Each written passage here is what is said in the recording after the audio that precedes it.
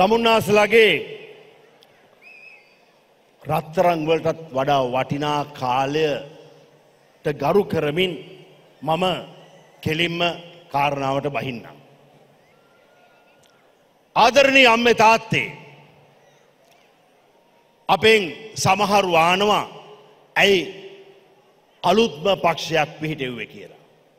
මෙච්චර පක්ෂ තියෙනවා ලංකාවේ ඒවට මුක්කු ගහන්න නැතුව ඇයි අලුත්ම පක්ෂයක් පිහිටුව කියලා කතාව මාධ්‍යවලින් සහ සමහරු අපෙන් අහනෝ. මට මේ අවස්ථාව මතක් වෙනවා. මේ පක්ෂයේ පිහිටන්න මූලික බීජය වුණදේ ගැන තමුන් අසලට කියන්න මට අවසර දෙන්න.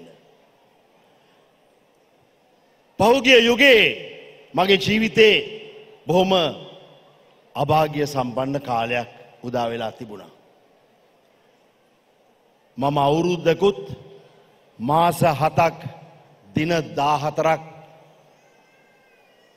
අච්චු ලබල හිරගෙදරට ගියා. මම හිද හිරගෙදරට ගිය අම්මේ තාත්තේ මංකොල්ල කාලවත් හොරකං කල්ලවත් මිනිමර්ලොත් කුඩු ගෙන්නලවත් එතනෝල් ගෙන්නලවත් ස්ත්‍රී දූෂණ කරලා නෙමේ මම හිරේගියේ මොකටද කියන එක තමුන් නාස්ලත් දන්නවා ලංකාවත් දන්නවා ලෝකෙත් දන්නවා. ඒ හිරගෙදර ඉද්දී මට දහසකුත් දුක් විදින සිද්ධ වුණා. මගේම අවස්ථනාවකට මං හිරගෙදර ගියේ හරියටම කොරෝනා කාලේ. මට මතකයි තාමත් මම දෙදා සවිසියකේ ජනවාරි දොළදුවනිදා අවුරුදු හතරකට බරපතල වැඩ ඇතුව හිරගෙට යද්දී. මම ඉස්සල්ලම මාව අරංගියේ පල්ලන්සේනේ අපේ ගමේම ඒ සිර කඳුරුවලට. එතට කෝල් කරපු එක්තරා කැබිනට ඇමතිවරයෙක් මට කිව්වේ බෝගහයට CDM එකේ ෆෝන් එකෙන් තමයි ඒ කෝල් එක ආවේ. මම කියන හැම වචනයකටම මම උත්තර බඳිනවා සාක්ෂයතුව කතා කරන්නේ ඒක ලංකාවේ ජනතාව දන්න අපේ හමුදුරනේ. බෝගහයට CDM එකේ ෆෝන් එකට ආපු හින්දා හඬපටේ නෑ සමාවෙන්. CDM එක ෆෝන් එකට ආවේ. ඒ කාපු කැබිනට් ඇමතිකරා කිව්වා. රංජන් අපි තීරණය කළා ඔයාව අගුණ කොළ පැලස්සේ හිරගෙට යවන්න කියලා. මම කිව්වා ගරු ඇමත්තුමා එහෙම කරන්න එපා. මට උපාදිය කරන්න තිෙනවා යුත්තැන් කොමිනිට ඩිවලප්මන්් මගේ උපාදිය කරන්න තිෙනවා යුනිසිටිය එකේ. මම කොළඹ ඉන්න ඕනේ. මගේ අධිකරන බල ප්‍රදේශය. කොළඹ. මගේ නඩුව තිබුණොත් කොළඹ. මට කොළඹ ඉන්න තියෙනවන හොඳයි. වැලිකඩ. ඇයි මාව? රාජපක්ෂලාගේ තෙරටරයක ඒගොලන්ගේ රාජධානය වෙන අඟුණු කොළ පැලස්සර දාන්නේ පලිගණ්ඩද කියලා. නෑනෑ අපි තීරණය කලා ඔයාට එහිට ඈතට දාන්න කියලා. මොනවා කරන්නද කමන්නෑ මම ගියා අඟුණු කොළ පැලැස්සට. අඟුණු කොළ පැලස්සේ මම හිටියේ නාමල් රාජපක්ෂලාගේ බොඩිගාඩ් වෙන ජුලම් පිටේ අමර හිටිය කාමරයට තම අම්මාව දැම්න්නේ. ඒ මොකටද කියලා කියන්න මම තාම දන්නේ නෑ.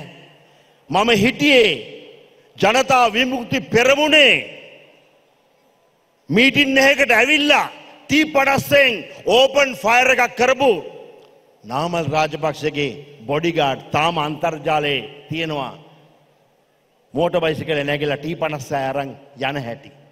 ඒ අගේ කාමරේ තම් මම මූුණට මූුණ හිටියේ. මූුණු මූුණු බලාගෙන මම හිටියේ ඒ ගාතකොත් එක්ක. මාව හිරගේත් මරන්න ඉන්නවා කියලා ඝාතනය කරන්න ඉන්නවා කියලා. නොයකුත් ආරංචි මාර්ග ආව ඇපල් රුවන් පවා අන්න වීඩියෝ එක එක කියලා තිබුණා. හිරගෙදරේ මදන්ඩ. මොකද මෙයා දූෂණයට විරුද්ධව හඬනගෙනවා රාජපක්ෂලට නොසෑහෙන්ඩ ගහනවා මූට එලියට එඳන දෙන ඇතුළෙම අපේ රාජධානීම මරලදාමු කියන එක තමයි එගොලන්ගේ මත වෙලා තිබුණේ. කොහොමරි ටික ටික මිත්‍ර වෙලා ටික ටික අපි කාලය ගත කළා. අඟුණු කොළ පැලස්සේ. මම ඒ කාලෙ කොරෝණ කාලෙ හින්ද අන්ත දුක් වින්දා අපේ කාටවත් නෑදෑන්ටවත් එන්නවත් හම්බුන්නේ අපිෝ බලන්න කෑමත් නෑ බීමත් නෑ අන්ත දුක් වින්දා. හිරේදල ආවට පස්සේ ආදරණි අම්මේ තාත්තේ හිරේදි ගත්තු ඇත්දැකිමුත් එක්ක කියවපු පොතුත් එක්ක මං එලියට ආවට පස්සේ මගෙන් ජනතාව අහපු එක දෙයක් තිබුණා.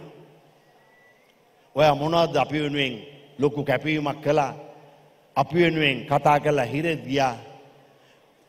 ඔයා ගස්වටේ දුවදුව සින්දු කිය කී අපිෝ සනසනවාද අපි වෙනුවෙන් තිත්ත ඇත්ත කතා කරන්න ආයෙත් දේශපාලට එනවද කියලා. ඒ ආපු අයට මං කිව්වේ මම හිතල බලන්නම් කියලා. එහෙම හිතහිදි තමයි මේ යෝජනාවාවේ. අපි ඇයි අර හොරු ඉන්න ඒ පක්ෂවලට ගිහිල් අමුක්කු ගහන්නේ අලුත්ම නැවුම් පිරිසිදු පක්ෂයක් පිහිටමු. ඒ පක්ෂය තමයි එක්සත් ප්‍රජාතන්ත්‍රවාදී හඬ කියලා අද මේ එලි දක්වන්නේ. ආදරණය අම්මේ තාත්තේ. මේ රැස්වල ඉන්න අය මොකද කියන්නේ? මම කලාකාරයෙක් වගේ ඉන්නද? නැත්තං ක්‍රියාකාරි දේශපාලට එන්නද? මොකද කියන්නේ? හිරේ අන්න හරි තමුන්නාස්ල වෙනුවෙන් තිත් ඇත්ත කතා කරන්න හරි අපේ අය පාර්ලිමේන්තුවේ ඉන්න ඕන නේද? ඇහුන්න ඉන්න ඕනද තවහයියෙන් මම විතරක් නෙමේ. මේ ආණ්ඩුවේ ප්‍රබල විපක්ෂයක් වෙන්න මේ පක්ෂයේ මාත් එක්ක මේ සොහිරුණු ගෙන්න්නන්න ඕන නේද? ගෙන්න්නනවා නේද? ආදරණී අම්මේ තාත්තේ මෙහෙමයි මේ පක්ෂය බිහි වුණේ මේ පක්ෂයේ අපි පෙනේරයක් වගේ පෙරල තමයි කට්ටිය ගත්තේ සමහරු අහනවා ඇයි පරණ පක්ෂවල හිටියේ නැත්තේ කියලා. එහෙ මම මෙහෙම ඉඳලා හැරිලා බලද්දි මෙන්න ඉන්නවා ගස් කපපු එකෙක්, මෙන්න ඉන්නවා වැලි හොරෙක්, අන්න ඉන්නවා පස් හොරෙක්, මෙන්න ඉන්නවා එතනෝල් හොරෙක්, මෙන්න ඉන්නවා හරක් හොරෙක්. මම කොහොමද උන් එක්ක ඉඳන් මුන් ඔක්කොම හොරු මල්ලි, මුන් ඔක්කොම යාළුවෝ කියලා කියන්නේ මල්ලි? මට එහෙම කියන්න පුළුවන්ද? මට බෑ. ඊට වඩා හොඳම දේ තමයි අලුත්ම පක්ෂයක්, නැවුම් පක්ෂයක් පිරිසිදු පක්ෂයක් තෝරගෙන අපි එක්කින්නවා මෙන්න වඩිවේල් සුරේසින්නවා තිලකරත්න දිල්ෂාන් ඉන්නවා. පැතුම් කර්නරන්නවා රවි කුමුදේසින්නවා මෙකී නොකී පිරිසක් ඉන්නවා. නන්දිපිත් රේකනාය කලා අපේ ප්‍රදි සම්පත්ල අසේල සම්පත්ල සේරමල්ල ඉන්නවා. අපි එක්ව ගමනක් යන්න තීරණය කළා. දැන් තමුන්නාසගේ ආශිරවාදී අපිට ඕන.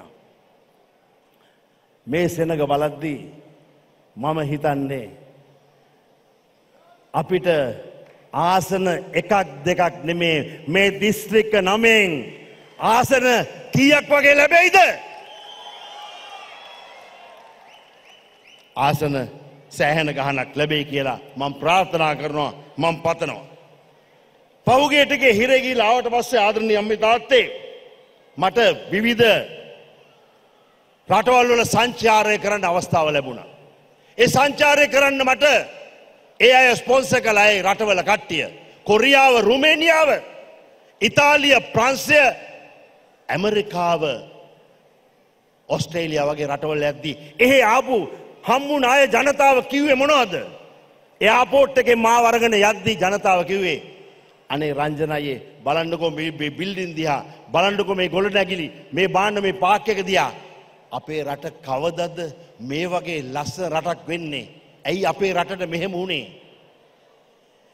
මං ඒ අයට කිව්වා ඒක ඇත්ත මල්ලි මේක අපි එක්කම එක්දස් නමසේ හත්ලිස් අටේ යුද්ධෙන් දිදහා සම්මුණු රටවල් අපිෝ පහු කරගෙන මෙහෙම දියුණු එද්දි සිංගප්පූර් වගේ මැලේෂය වගේ ඇයි අපිට ඉතුරක් මෙහෙමුණේ කියලා මම හද්දි ඒ අය කිව්වේ ඔයාට පුළුවන්නම් ගිහිල්ලා රංජනයේ තනි පක්ෂයක් පිටන්න. තනියම එන්න මේ ඉන්න හොරුන් අපිට විශ්වාස නෑ.